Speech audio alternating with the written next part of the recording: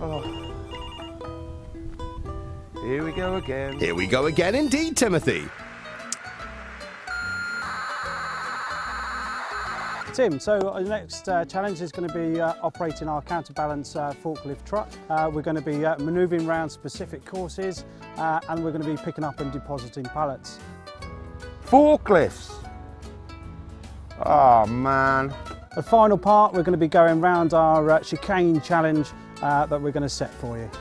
Yeah, that looks really easy. See you next week.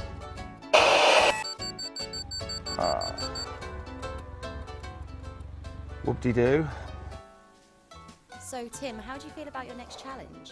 Oh, you've turned up, have you? Well, yeah, uh, apparently I'm supposed to learn how to do a forklift. Uh, I've just had my arse wedged into uh, a coffin on wheels, so a forklift.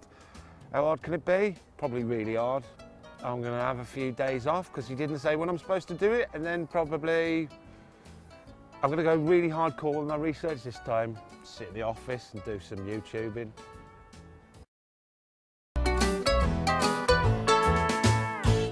At a secret location somewhere in England. All right, that's kind of giving the game away. This is the venue for Tall Timothy's Forklift Driving Challenge. Oh. Nice one, Raymondo. Oh. It's a bit noisy, that car. Right then. Let's get my forklift on. Ah, man with a high vis and a lanyard, you've got to be the instructor. Hi Tim, Paul Moon, MD 2 Start, pleased Oh, to meet you. MD, manage it. So you're the big, you're Mr. 2 Start. Oh, I am, yes. I'm the guy who's got it all started. Is that what people call you, Mr. 2 Start? Chief normally. Oh, Chief. Okay, Chief. so uh, I, I've got to be honest, as with all these things, I've never been on, or I don't think I've even touched a forklift. So uh, uh, in, terms of training, how do you think? How do you think I'll go? You're with the experts today, Tim. Uh, Okay. we're going to teach you everything you need to know from picking up and depositing a pallet to Right. uh, manoeuvring the, uh, the forklift around the uh, chicane. And normally with with these kind of things, say you take your basic, most basic person ever.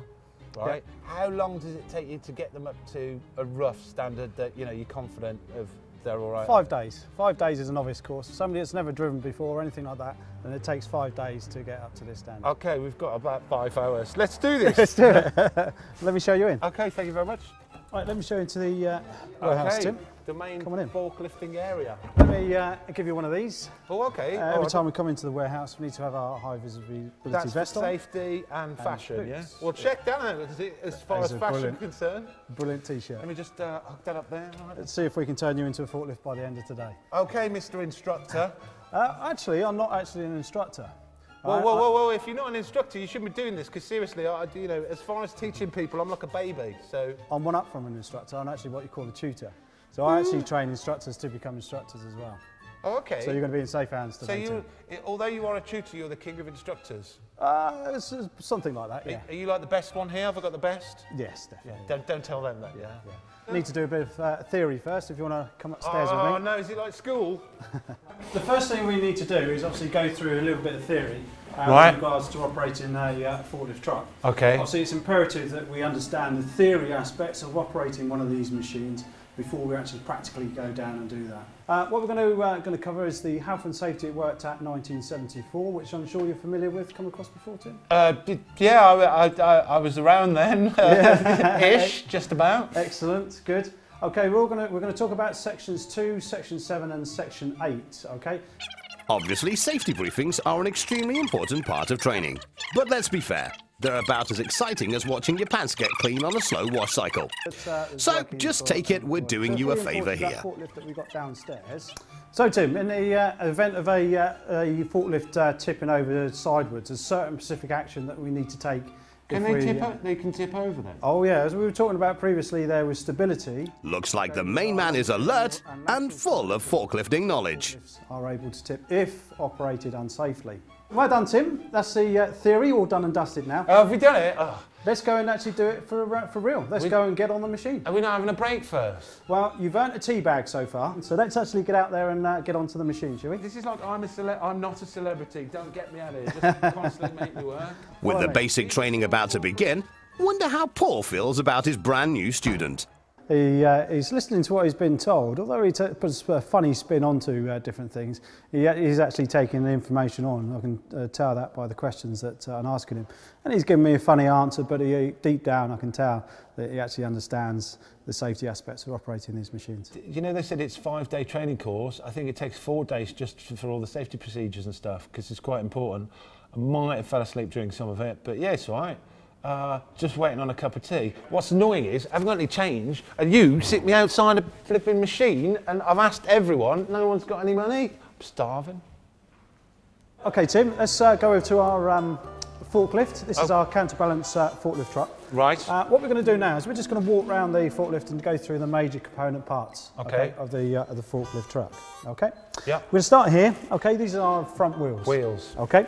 Uh, there's solid rubber tyres, okay, so you don't need to worry too much about uh, punches or anything like that. Coming up from our uh, front wheel, we've got this uh, guard here, okay, this is called the overhead guard. Okay? Because it's over your head? That's right.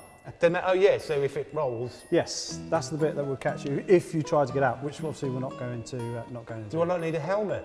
No. No, that's what the overhead guard there is for. Okay. okay? You've got this uh, big wrought iron part at the back. This is called our counterweight. Right. Okay, this is where uh, the weight is at the back of the machine. So the weight at the, uh, the back here is counteracting the weight. Whatever the load is on the front. On the yeah. front. Okay. Okay. You notice at the back we've only got um, two wheels, but they're fairly close uh, close together. So this would be classed as a three-wheeled counterbalance. It's like a reverse Robin Reliant then in terms of wheels. It is, yeah, very much so. This is a three-piece uh, uh, mast. Okay, and our carriage plate, which is uh, this part here, leading onto, uh, onto our forks. The main points of the forks we need to, uh, to be aware of is this part here, okay, is referred to as the heel of the forks. It sounded like a character from Game of Thrones. What's that called again? The uh, heel of the forks. Heel of, I am the heel of the fork. Okay, so that has to be back, right, yeah. Okay. Yeah, you've got an even better one than that. You've also got castellations. Castellations? Yeah, castellations. The heel of the fork will move forward to castellations. yeah, liking it. Good, that's it. Three points of contact. Okay. Excellent. So, here's our handbrake. Yep. Okay. Our directional control leader, forwards, Forward, neutral, uh, reverse, and yeah. uh, reverse. What was that called? The steering assist. Uh. Steering assister. Yeah, steering assister. Not a brother, it's a sister. That's right. Okay. And we've got our uh, hydraulic controls. Okay, the one nearest to you is going to raise the mast up, up and, and down. down. and the second one is tilt, and the third one we're not worrying about. That's right. So he now knows all the bits, but can he actually work them? Uh, to negotiate the uh, forklift round a, a configure of eight, okay, round the barrels. So I'm going around the large tins of lubricant. Yes. Okay. Yes. so once we've got our, uh, our, our full lock on, taken half our lock off, we're going to keep our pivot point no further than six inches away from that barrel. Full lock on, full lock off, half lock off, pivot point six inches. It's a lot of words. Here we go. okay. And following a lot of words from the tall one, he now gets to move the forklift for the first time, learning how to do extremely tight turns on what he's calling okay, the lubricant slalom course. How do I know what's half? Half the steering wheel. That's it. Now manoeuvre the machine around. That's it. So take some of that lock off. That's it. Oh, okay, yeah. yeah. See us now, it's keep nice and close, no further than six inches. So take, take some of that lock off, we've got too much on at the moment. Off. Not exactly the speed and intensity of Formula One, but it was never going to be a fast one, this, especially with Tim at the wheel. Considering he has no idea what a pivot point or lock on and lock off means, it looks like he's doing okay. But apparently, the tutor has a different take on matters. We're struggling a little bit, to be honest, uh, with the uh, with the steering. It's very difficult with the uh, the steering wheels being underneath the machine because you can't see the angle that uh, there are. So it's uh, having that sort of natural feeling of the steering wheel and being able to know where the actual uh, machine is going to travel with those wheels. I must say that's the biggest six inches I've ever seen. Cheers. Innuendos aside, then, will the tall one be able to lift a pallet with his forks? Because essentially that's what forklift drivers do. Tim, how do you, how you finding it? Well, I'm trying to learn it, and then you're asking me stupid questions and whatever. I mean, I'm trying to concentrate. I've got lubricant barrels here, left and right and centre. I've got Paul shouting at me, full lock on, full lock off, mind your pivot point, whatever. My head is about to explode. My arm's killing. I'm locking on too much. I'm locking off too much. But apart from that, I'm really having a good time. Okay then, Tim. Next stage then, now right. we've done the, uh, the barrels, is uh, we're going to be picking up and deposit a pallet. Okay? Picking and depositing? Yes. Okay. So we're going to be driving forwards Right. Stop no further than six inches away from the pallet. It's always six inches for you. It is. Okay, yeah. Obsessed with six inches. So, raise the forks up. First lever, back down. Down. That's it. That's it, good. Keep coming back, keep coming, keep going. There it is. Okay, and lower the forks down. That's it. Just so, just off the floor, tip slightly uh, higher than the heels of the forks. Right, so we're now going to drive towards the pallet. Right. Okay, and with our six inches, stop uh, no further away so we can line up. Kind of like the factory is on a go slow, but I suppose he's still training after all.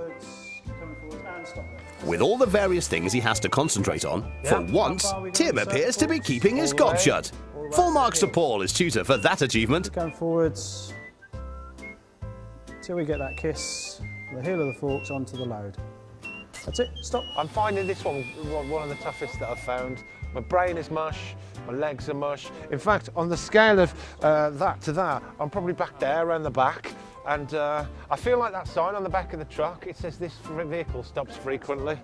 Uh, I, I need to stop because I've got a challenge now, which is, it keeps going on about chicanes. This isn't Formula One, it's Formula Fork. This is the final challenge. The, the final stage, the final challenge, okay. Final challenge to, uh, to test yourself, okay? Right, So, with our forklift truck, yeah. okay, we're gonna drive forwards, pick up the load at what we call our vertical face. That's quite a big load as well, those big tyres, all right. It is, Right, okay? And then we're gonna reverse back, yeah. and then we're gonna safely negotiate the chicane to the exit. As simple as that. I'm glad it's not. A, yeah, I'm glad it's a setup uh, chicane with pallets because I can see all of these getting knocked over. This is what we call in Wolverhampton duck's arse, as tight as.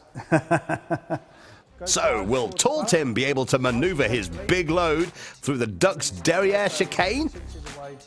Oh, I appear to be doing the innuendos now. bit more. Yeah. That's it. Keep going. Good. No, other way. No, it's not. No. No, it's Right. I thought it was that one. Bring yourself round.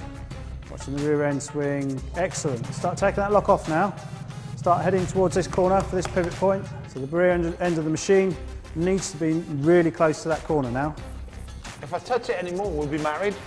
As this challenge is more about precision than speed, you can probably forgive Timothy for his snail style forklift driving. Usually, this chicane challenge is taken on the fifth day of training, rather than the fifth hour. We're called uh, two-day forklifters. Uh, we get the job done, but it takes two days for me to get around the chicane. I would like to be your governor unloading the yeah, lorry right yeah, now. yeah. I see well for overtime.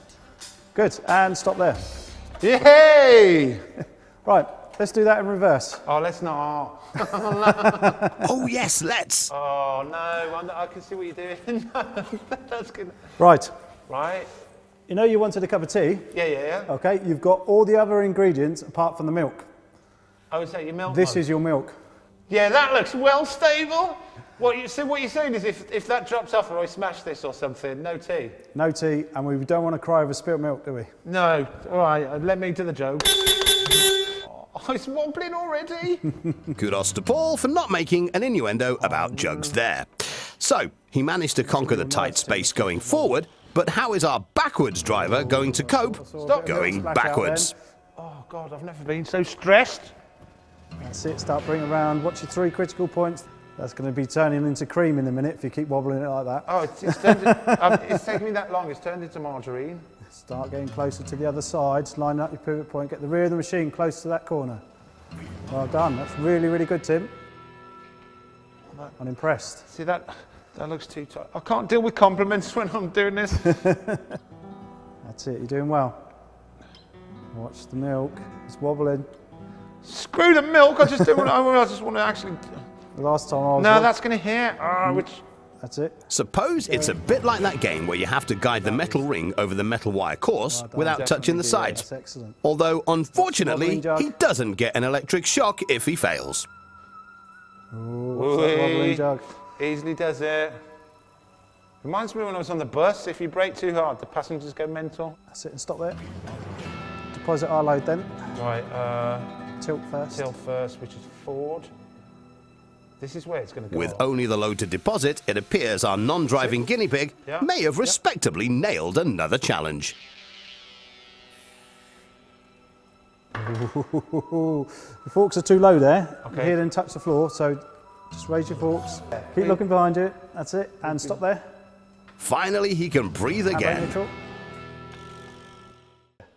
Oh, you're confusing me, but I've done it! Yay! Well done. He's picked up uh, things really quickly. It's uh, a very tight chicane and tight manoeuvring and to, uh, to get the jug through, which uh, it was uh, fairly uh, unbalanced on there. He, he did a really, really good, uh, good job. All along I've been saying, you've been saying, oh, you get your tea, then you did that with a jug and whatever. Where's my biscuits? In my office, All right then, well, where's your office? in our Portsmouth branch. Portsmouth. I'm a bit proud of that because that, that that's one of the you know I've done some things and that's probably one of the most in my head difficult things because it takes five days to do that. Granted, I've had Paul show me the ropes all the way through and he's been great. But you know, he, he could have got the biscuits in quicker. That's all I'm saying. He's, he's used and abused me in terms of getting me to do things. But that it's really difficult. But I'm, you know, I'll never be a full-on forklift driver. But I, another one ticked. Forklift drive, I'm about there now on the scale. It was before I was there. You know, I'm not there yet, but at least I've moved one. So uh, I'm happy.